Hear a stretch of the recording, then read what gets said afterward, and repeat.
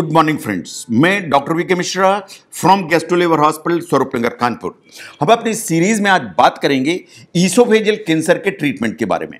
ये क्या अलग अलग मोडेलिटीज हैं which can be utilize for treating esophageal cancer now ध्यान से देखें ट्रीटमेंट प्रोटोकॉल को। ये इस पर डिपेंडेंट है कि जो कैंसर की टाइप है, वो कौन सी है। ये स्क्वेमस सेल कार्सिनोमा है, या ये एडिनो कार्सिनोमा है, या कोई और है। नंबर वन नंबर टू इस पर डिपेंडेंट है कि जो कैंसर है खाने की नली में, उसकी स्टेज क्या है? स्टेज फोर है स्टेज थ्री है, स्टेज टू है या स्टेज वन है।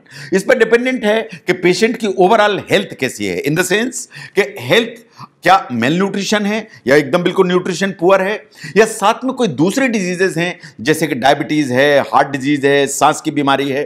तो जो ओवरऑल हेल्थ है, वो तीसरा फैक्टर है। और नंबर चार हमेशा इस पर डिपेंडेंट है कि पेशेंट का ओवरऑल प्रेफरेंस क्या है फॉर ट्रीटमेंट तो जो चार चीज़ें हैं, ये डिटरमाइन करती हैं कि कौन सा ट्रीटमेंट का जो प्रोटोकॉल है, वो ऑफ़र किया जाएगा।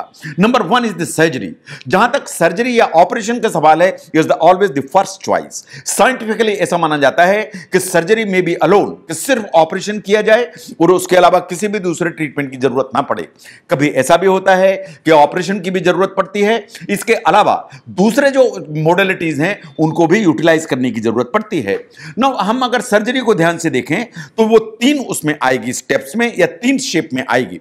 नंबर वन अगर खाने की जो नली है, उसमें जो ट्यूमर है, वो बहुत ही छोटा है। बहुत ही छोटा है दैट मीन्स स्टेज वन है और स्टेज टू है। अगर ये बहुत छोटा है तो उस को जो निकालने का तरीका है, वो बिल्कुल अलग है। नंबर टू पर आती है ईसोफिजेक्टमी या surgery to remove a part of the esophagus in the sense कि खाने के नली का एक हिस्सा निकाल के अलग कर दिया जाता है। इसे कहते हैं ईसोफिजेक्टमी ये वास्तव में स्टेज टू ऑनवर्ड्स या स्टेज थ्री स्टेज फोर के लिए इंपॉर्टेंट है। नंबर तीन है surgery to remove part of the esophagus in upper part of the stomach इसका मतलब है कि खाने की नली का पोर्शन इन थोड़ा सा खाने की थैली का पोर्शन दोनों निकाल के अलग कर दिए जाते हैं। इसे कहते हैं ईसोफेगो गेस्टेक्टमी तो जहाँ तक सर्जरी का सवाल है, ये तीनों चीज़ें हैं।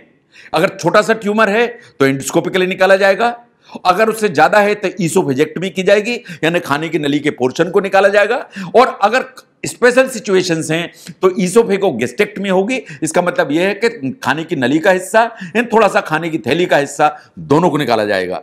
ना देखिए कि बहुत अगर स्मॉल ट्यूमर है तो सिर्फ़ एंडोस्कोपी के द्वारा एक प्रोसेस होती है जिसे कहते हैं एंडोस्कोपिक म्यूकोजा डिसेक्शन उसके ज़रिए से ये जो ग्रोथ है, इसको इस तरह से कट के निकाल करके अलग किया जा सकता है।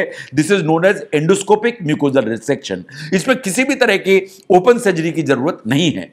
नंबर टू पर आते ही ईसोवेजेक्टमी जो ईसोवेजेक्टमी होती है, इसमें खाने की नली और उसका एडजॉइनिंग जो एरिया है ट्यूमर के सहित, उसको निकाल के बिल्कुल अलग किया जाता है। अगर आसपास कुछ लिम्फ नोड्स होते हैं, उनको भी क्लियर किए जाते हैं। और फिर खाने की जो नली है, उसको खाने की थैली से डायरेक्टली जोड़ दिया जाता है। इस तरह का जो ऑपरेशन है वास्तव में यहाँ से खोल के किया जा सकता है, या ट्रांसहाइटल भी यहाँ से किया जा सकता है डिपेंडिंग अपॉन खाने की नली में ट्यूमर किस स्पॉट पर है। तो इस सेकंड जो है is the esophagectomy number three पर आते हैं ईसोफेगो गेस्टेक्टमी जिसमें खाने की नली का पोर्शन एंड थोड़ा सा खाने की थैली का पोर्शन दोनों निकाले जाते हैं। ये वास्तव में अगर खाने की नली में नीचे की तरफ़ ट्यूमर है या कि जो गेस्टो ईसोफेजियल जंक्शन है, उस पर ट्यूमर है। अगर ये दो सिचुएशन में ट्यूमर है तो इस तरह की जो सर्जरी है, उसको वास्तव में ऑफ़र किया जाता है कि जिसमें खाने की नली का नीचे का हिस्सा भी निकाला जाता है एंड थोड़ा सा खाने की थैली का हिस्सा भी निकाला जाता है। लेकिन ये बात सही है कि जब भी इस तरह के कैंसर के लिए ऑपरेशन होता है, वो ओपन सर्जरी हो सकती है, वो लेप्रोस्कोपिक सर्जरी हो सकती है, वो डिपेंड करता है कि जो सर्जन की एक्सपर्टाइज कैसी है। लेकिन कोई भी अगर सर्जरी होती है तो तीन रिस्क हमेशा रहेंगी। नंबर वन इंफेक्शन का रिस्क रहेगा। नंबर टू, ब्लीडिंग का रिस्क रहेगा। नंबर थ्री, लीकेज का हमेशा रिस्क रहता है, बिकॉज़ एक जो ना इनेस्टमोसिस क्रिएट की जाती है, जिससे हल्का सा लीक का हमेशा डर रहता है। ना अगर कॉम्प्लिकेशंस हैं तो क्या ट्रीटमेंट प्रोवाइडेड होता है? से फॉर एग्ज़ाम्पल कैंसर ईसोफेगस के चलते खाने की जो नली है, वो पूरी तरह से बंद हो गई। इन खाना बिल्कुल आगे नहीं जा रहा है इनफैक्ट पानी तक आगे नहीं जा रहा है तो क्या किया जाएगा? सबसे पहले हम कोशिश करते हैं कि स्टेंट प्लेस किया जाए, जैसा कि आपको फोटोग्राफ में दिखाई दे रहा है। ये जो एंडोस्कोप है, एंडोस्कोपिक प्रोसेस है, उसके ज़रिए से स्टेंट को प्लेस किया जा सकता है। अगर ये स्टेंट प्लेस किया गया तो लिक्विड सेमी सॉलिड डाइट लेने में कोई प्रॉब्लम यूजुअली नहीं होती है। एक बार स्टेंट प्लेस किया गया तो वास्तव में जब तक आप ठीक नहीं हो जाते हैं, जब तक यह डिज़ीज़ प्रोसेस है, स्टेंट अपनी जगह पर ही रहता है। नो कभी ऐसा भी होता है कि हमें टेम्परेली रास्ता तैयार करना है तो हम एंडोस्कोपी के द्वारा एक डायलिटेशन कर सकते हैं which is known as endoscopic dilatation लेकिन यह बात बिल्कुल सही है कि सर्जरी है कीमोथेरेपी है रेडियोथेरेपी है फोटोडाइनमिक थेरेपी है लेजर थेरेपी है, ये सब इस तरह की प्रोसेस हैं जो वास्तव में रास्ता बना के खाने की जो नली है, उसको ओपन करने की ताकत रखती हैं सो दैट आप जो कुछ खाएँ, वो आसानी से आपके पेट में जा पाए। लेकिन कभी हमें टेम्परेरी न्यूट्रिशन प्रोवाइड करने का इंतज़ाम करना पड़ता है। अगर हमें टेम्परेरी न्यूट्रिशन प्रोवाइड करना है तो हमारे पास में तीन विकल्प होते हैं। नंबर वन हम एक फीडिंग ट्यूब प्लेस कर सकते हैं खाने की थैली के अंदर। तो उसमें से हम आपको न्यूट्रिशन देते चले जाएँगे और खाने की नली टोटली बाईपास हो गई। सेकेंड इज़ कि अगर थोड़ा सा भी रास्ता है तो हम नाक के द्वारा एक ट्यूब पास कर देते हैं, जो खाने की थैली तक जाती है। इसे कहते हैं राइल्स ट्यूब जैसा आपको फोटोग्राफ में दिखाई दे रहा है। नंबर तीन पर आती है जजनल फीडिंग ट्यूब जिसे हम जो एब्डामन है, उसमें प्लेस कर देते हैं आपके छोटे आंत के अंदर उसके ज़रिए से फीडिंग आपको चालू करा देते हैं। Now the next one is the chemotherapy जो कीमोथेरेपी उसको है, उसको आप ध्यान से देखिए। जो कीमोथेरेपी है, वो एडजुवेंट कीमोथेरेपी होती है एडजुवेंट कीमोथेरेपी वो होगी जो कोई भी सर्जरी के बाद दी जाती है। एक न्यू एडजुवेंट कीमोथेरेपी होती है, ये वो कीमोथेरेपी है जो किसी भी सर्जरी के पहले दी जाती है। तो जो कीमोथेरेपी है, वास्तव में रेडियोथेरेपी या रेडिएशन के साथ कंबाइन की जा सकती है या सिर्फ़ अकेली दी जा सकती है। बहुत सारे एडवांस्ड कैंसर्स होते हैं जो कि दूसरे ऑर्गन्स में भी फैले हुए हैं। तो साइंटिफिकली ऐसा माना जाता है कि जो chemotherapy is the only answer जो आपको प्रोवाइड किया जा सकता है।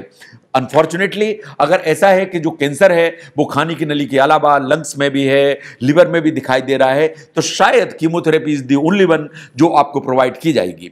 जहाँ तक रेडियोथेरेपी का सवाल है, या रेडिएशन थेरेपी का सवाल है, ये दो तरह से दी जाती है। One is the external beam radiotherapy जैसा आपको फोटोग्राफ में दिखाई दे रहा है, या ब्रेकीथेरेपी जो अंदर ही अंदर आई मीन प्रोप के द्वारा दी जाती है, जो डायरेक्टली ट्यूमर को खाने की नली के अंदर ही रेडिएशन प्रोवाइड करती है। रेडियोथेरेपी के हमेशा थोड़े थोड़े साइड इफ़ेक्ट आएँगे। जैसा सनबर्न जैसा पिक्चर आएगा, जैसा आपको फोटोग्राफ में दिखाई दे रहा है कभी कभी अंदर इतनी स्वेलिंग होती है कि आपको खाना निकलने में कभी टेम्परेली थोड़ी सी प्रॉब्लम भी हो सकती है। कभी कभार एक्सीडेंटली रेडिएशन से जो नर्व्स हैं, उनके डैमेज होने का हमेशा डर रहता है। नो द क्वेश्चन इज़ कि क्या सिर्फ़ कीमोथेरेपी ही दी जाएगी, या सिर्फ़ रेडियोथेरेपी ही दी जाएगी, या कॉम्बिनेशन दिया जाएगा कीमोथेरेपी एंड रेडियोथेरेपी का? इट ऑल डिपेंड्स अपॉन कि कंबाइंड थेरेपी आपको कब दी जाएगी। यह बात बिल्कुल सही है कि अगर कॉम्बिनेशन थेरेपी दी जाती है तो जो एफिकेसी है, वो दोनों की हमेशा बेटर हो जाती है। जो कॉम्बिनेशन कीमोथेरेपी एंड रेडियोथेरेपी है वास्तव में ये सिर्फ़ ट्रीटमेंट की एक मॉडलिटी हो सकती है। इट इज़ क्वाइट पॉसिबल कि यही एक ट्रीटमेंट है जो प्रोवाइड किया जा सके। इन द सेंस कि कैंसर इस स्टेज में है कि सिर्फ़ कीमोथेरेपी मिलेगी और रेडियोथेरेपी मिलेगी और कुछ नहीं किया जाएगा। कभी ऐसा भी किया जाता है कि आपको कीमोथेरेपी एंड रेडियोथेरेपी दी जाती है और उसके बाद फिर सर्जरी प्लान की जाती है कि ऑपरेट करके अलग कर दी जाए उतने पोर्शन को जिसमें कैंसर है। जब भी हम कॉम्बिनेशन थेरेपी यूज़ करते हैं तो उसके हमेशा थोड़ी ना थोड़ी प्रॉब्लम्स तो होती हैं। इन द सेंस कि जो साइड इफेक्ट्स हैं, वो मोनोथेरेपी के कंपैरिजन में कॉम्बिनेशन थेरेपी में हमेशा ज़्यादा होंगे। तो जब भी खाने की नली में कोई प्रॉब्लम है और कैंसर जैसी चीज़ सामने आती है तो कुछ क्वेश्चंस ऐसे हैं जो आपको अपने डॉक्टर से पूछना चाहिए। नंबर वन कि खाने की नली का जो कैंसर है, मेरी खाने की नली के किस पोर्शन में है? सेकंड क्वेश्चन वुड बी कि ये जो खाने की नली में कैंसर है, ये कितना एडवांस्ड है? नंबर थ्री मेरी बायोप्सी क्या कहती है कि ये किस तरह का कैंसर है? एंड इस कैंसर की स्टेजिंग के लिए मुझे और किन टेस्ट की ज़रूरत है?